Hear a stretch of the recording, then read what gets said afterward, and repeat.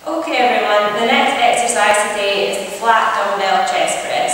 So to start off with this, you're going to sit in front of a step box, grab your dumbbells, and then you're going to lie back so that your shoulders and your head are on the step box, and just raise your hips up off the floor.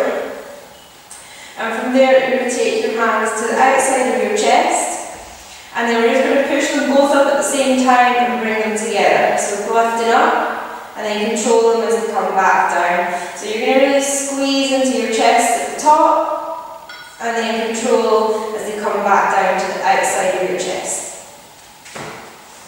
And that's the dumbbell flat bench press.